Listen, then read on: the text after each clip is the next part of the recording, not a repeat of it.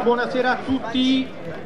Presentazione stagione 2024-2025 del Ribolla che parteciperà al campionato di terza categoria.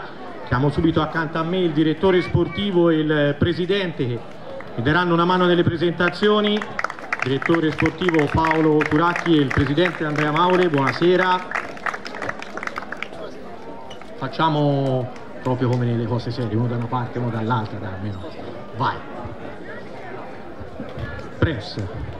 Ah, prima di tutto grazie dell'invito, è un piacere, io quando ho occasione di girare per i campi, come dicevo prima, ho tanti ricordi soprattutto del vecchio campo perché era una gioia quando tornavo per fare la lavatrice, ora invece questi problemi non ci sono, meno male. Che stagione avete intenzione di affrontare? Nel senso, eh, l'anno scorso siete venuti partiti con, eh, benissimo in campionato, poi una serie di infortuni vi ha accorciato la rosa e vi siete allontanati dalla zona playoff. Quest'anno avete cambiato un pochino tutto, in primis eh, lo staff tecnico, avete inserito giovani di qualità da affiancare alla vecchia guardia storica del Ribolla, quindi un anno zero? Sì, una sorta di anno zero anche se è l'anno che ci accompagna al centesimo anniversario, anche perché il 2025-1925, quindi il prossimo anno festeggiamo i, i nostri cento anni di storia, quindi eh, abbiamo, sentiamo l'obbligo morale di onorare questo, questo, centenario ed è per questo, come giustamente dicevi, che abbiamo messo un po' mano alla rosa dando una, un netto ringiovanimento. Eh, io sono arrivato come presidente un anno fa, quindi il primo luglio 2023, trovandomi di fatto già una rosa, già comunque una squadra di fatto formata. Quest'anno, eh, dando ovviamente la massima fiducia al direttore sportivo, ho cercato di dare un po' un minimo di, di mia impronta, quindi il fatto di ringiovanirla e cercare di fare un progetto lungimirante, in qualche modo questa rosa la sento un po' più mia rispetto a quella dello scorso anno che come ho detto alla fine nel diventare presidente l'ho trovata eh, di fatto già realizzata, già concretizzata. Quindi abbiamo l'obiettivo di fare un campionato dignitoso, un campionato qui che è dignitoso, ci rendiamo conto che il campionato di terza categoria quello di quest'anno forse è anche più complicato di quello della scorsa stagione, ci sono delle squadre che sono organizzate, organizzate veramente bene, eh, lo sappiamo, lo abbiamo visto, quindi l'obiettivo non è certamente quello di vincere il campionato, ripeto, l'obiettivo è quello di fare un campionato più che dignitoso, arrivare in zona playoff e poi giocarsela fino all'ultimo. Sì, sì, qui cioè, siamo una società che comunque si cerca di fare le cose eh, fatte per bene, con con, con, giusti passi. Comunque si cerca Montaglio, di fare diretta, eh, comunque cerca di, si cerca di fare le cose fatte per bene. E siamo arrivati dieci anni fa in promozione.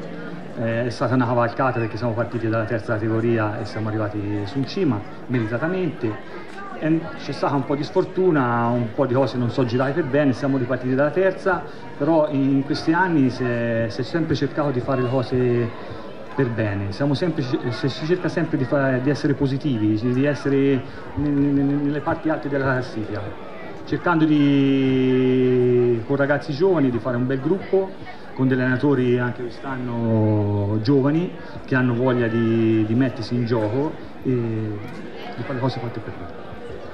Ma allora sicuramente esperienza interessante, io dico sempre la battuta a Paolo, mi ricordo 15-20 anni fa lo arbitravo e puntualmente lo cacciavo anche dal campo sportivo. Beh, strano, quindi, no, non era una cosa... No, quindi, no sicuramente allora, per me è un'esperienza piacevole, veramente piacevole, anche perché io ho smesso di arbitrare nel 2010, quindi dopo 13 anni tornare in un campo di calcio e appunto con un ruolo da presidente in passato sono stato arbitro, quindi è stata sicuramente una, una novità, vedere il calcio poi da un altro punto di vista eh, arrivare poi a percepire eh, l'agonismo, quindi la voglia di vincere, eh, un qualcosa da, dal punto di vista arbitrale non avevi anche perché andavi ad arbitrare, avevi l'obiettivo di arbitrare bene, poi se vincevano gli ospiti o, o, i locali per me era totalmente indifferente, invece qua ovviamente ci tengo a fare bella figura, ci tengo che vinca la mia squadra, quindi sicuramente una visione diversa, però piacevole, una sensazione più che piacevole. C'è stato dei momenti belli in prima squadra che ho vinto campionati, momenti poco belli che sono retrocesso, però quando giocavo eh, è differente perché comunque ti sfoghi. Lo, ti sfoghi in campo. Da dirigente o pianti una, peda, una borraccia o se no cioè, è, è, è, parecchio più difficile. Te lo porti praticamente la, la, la sera a casa la domenica che sei un pochino più arrabbiato. Però insomma dai. E allora a questo punto chiamiamoli, coloro che guideranno la squadra in questo campionato sono l'allenatore Federico Fanfani e il suo collaboratore allenatore in seconda Fabio Linicchi.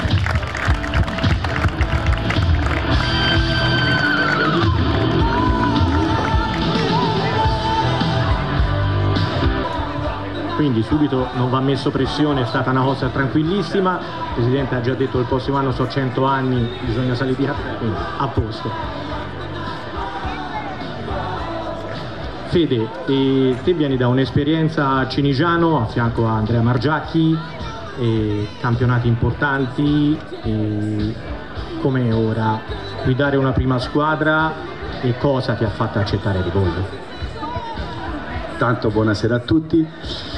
E allora, come io ho detto a Paolo quando ci siamo visti la prima volta, di, rispetto agli altri anni quest'anno la chiamata non me l'aspettavo. Premesso, a marzo eri ancora tesserato per Ciniciano, sì. sei passibile di squalifica? No, no, no, no, no.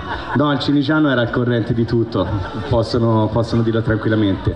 L'ho detto subito a Andrea, al presidente, quindi per amor del cielo.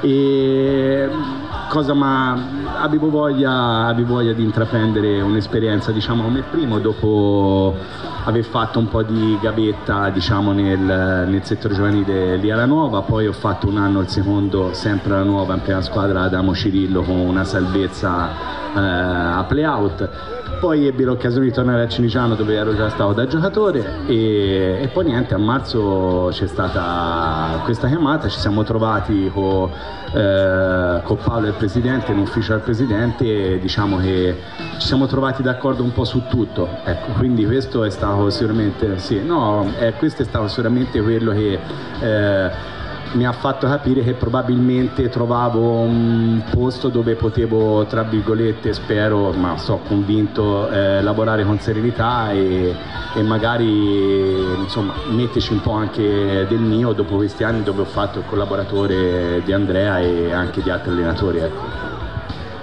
Fabio, mh, mm, rispetto a Fede magari la categoria la conosci un pochino meglio, due anni fa eri a Castiglione, eh, ripescati dopo un duello a tre con Maglianese e Marziliana campionato difficile perché come abbiamo detto realtà importanti e tanti giocatori importanti. Quindi ti dico che campionato ti aspetti allora eh, il campionato non sarà sicuramente semplice perché prima giustamente ti hai detto Ribolla è una grande piazza però purtroppo ce ne sono tante altre perché c'è Pitigliano che sarà il quarto anno che fa la terza categoria e nei giornali leggere Pitigliano terza categoria non è così bello. C'è Alberese e Rispeccia che sono due retrocesse dello scorso campionato che io ho affrontato che hanno mantenuto bene o male lo zoccolo duro della squadra dello scorso anno, hanno inserito giocatori validi e quindi non sarà facile le squadre che l'anno scorso erano in terza si sono bene o male rinforzate come ci siamo rinforzati noi e anche le squadre che l'anno scorso bene o male non hanno fatto un bel campionato, non me ne vogliono, però la classifica diceva così come poteva essere il Batignano, come può essere lo Sticciano, quest'anno Braccagni, quest'anno hanno fatto una discreta campagna acquisti, quindi sarà difficile andare a giocare su tutti i campi. Ma allora sicuramente provare a partire con, con, il piede giusto senza però avere l'ossessione di fare il risultato, assolutamente, anche perché è la prima partita, poi si ripete il triangolare della scorsa stagione, la, la scorsa stagione la prima l'abbiamo giocata sull'Alta Marema vincendo 1-0 in trasferta, giochiamo questa volta abbiamo il fattore campo eh, a favore nostro, però mh, non deve essere assolutamente un'ossessione fare, fare il risultato, anche perché la prima partita sarà ancora un clima a temperatura abbastanza alta, quindi squadre che hanno appena finito la preparazione, vediamo, eh, arriviamo al campo sereni, concentrati e poi raccogliamo il punto. No, no, eh, la squadra si sta preparando bene per, per l'inizio del campionato e per l'inizio della Coppa. Eh, come ha detto il Presidente non c'è nessuna pressione, ma nel senso andare in campo e divertirsi, come si è detto. Poi da, da cosa nasce cosa. È chiaro che affrontiamo una squadra che lo scorso anno è, è arrivata a pari punti con noi, che è una squadra che si è rinforzata, c'è un grosso ambiente, sentono il derby come lo sentiamo noi giustamente, però mm, cioè, mm, speriamo che vada come è andato lo scorso anno.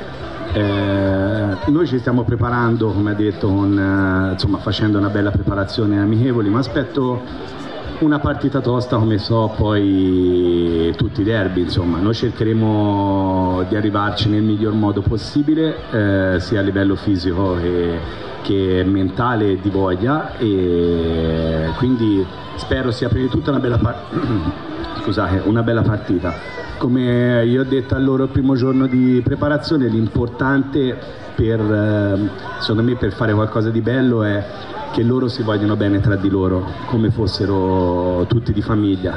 Quella è la cosa fondamentale. Al momento vedo che questa cosa eh, sta succedendo, sono un bel gruppo abbiamo qualche defezione, lo sai, dovuta alle stagioni, giustamente il lavoro, però insomma io penso e spero che arriveremo pronti alla prima, alla prima di Coppa. Insomma.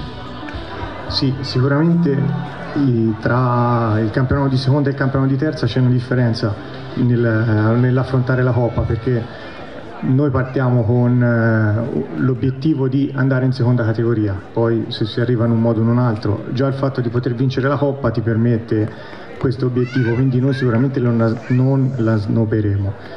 I ragazzi, come ha detto Fede, si stanno allenati bene, il gruppo è unito, valido, eh, non, non ci nascondiamo perché comunque gli acquisti che abbiamo fatto hanno aumentato il valore della rosa, un mix di giovani e ragazzi di esperienza che secondo me ci faranno togliere delle soddisfazioni. Quindi a questo punto io inizierei a chiamare sul palco i protagonisti di questa stagione, partirei con i tre portieri, Pazzagli Tommaso, Ferrata Andrea e Boe Alessio.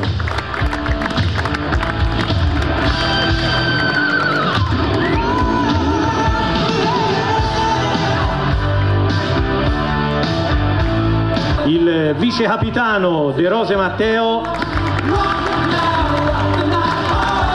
Mangini Niccolò. E poi il resto del reparto decimato da lavoro e ferie composto da Edda Mirko della vecchia Antonio. Ah, eh, scusami. Raspanti Lorenzo Sonnini Federico e Spaseni Catalin.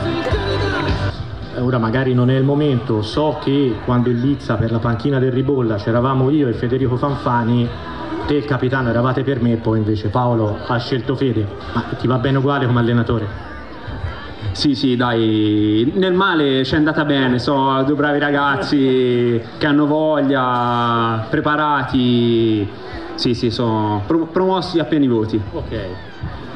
Yanga Marione, Matteo Totti, Landi Simone, Magnaricotte Rocco, Filippi Alessio, e Marri Edoardo. Qui sono assenti Lanzotti Alessandro e De Masi Giuseppe.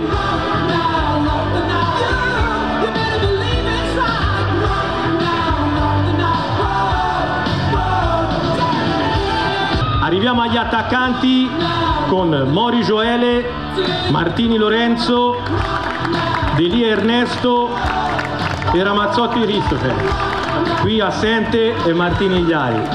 Però ormai chiamiamolo il capitano Filippini Giacomo.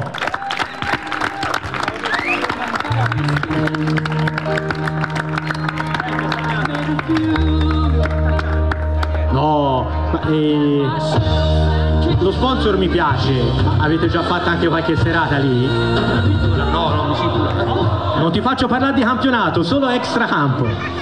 No, ancora no ancora no. Questa è la prima cena che faccio io. Però per le cene sti ragazzi ci sono, eh. Allora ragazzi, io direi prima di tutto un grande applauso per il Ribolla 2024-2025.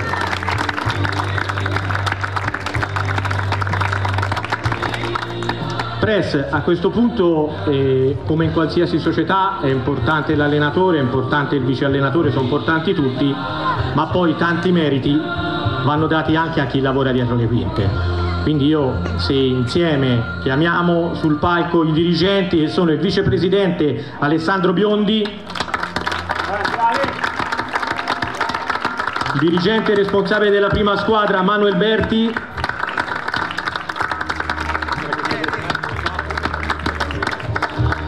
Ilario eh, Manuel va dietro perché c'ha il tatuaggio dell'Inter, quindi si mette dietro. Eh. Poi gli altri dirigenti Michael Filippini, Gianluca Agostini,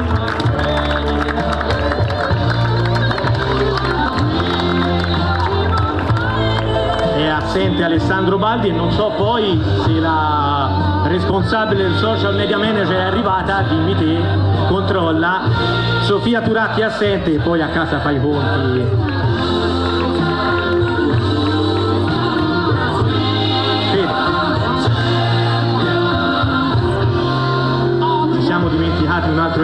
Tuo staff importante a questo punto.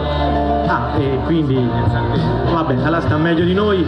Dai, dillo te, ringrazialo via telecamera. Sì, allora grazie naturalmente a lui che anche lui come me e Fabio ha sposato il progetto che è il nostro preparatore dei portieri, Alessandreoni, che beato lui è in Sardegna, quindi gli si manda comunque un saluto, tanto dovrebbe rientrare lunedì, quindi niente, ci si aspetta. Signori, il Ribolla 2024-2025.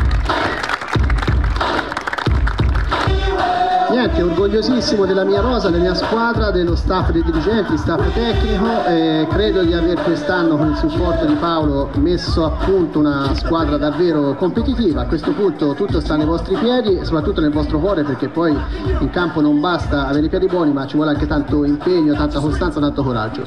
Quindi in bocca al lupo, buona stagione sporti- sportiva a noi. Grazie a tutti, buona serata e buon campionato.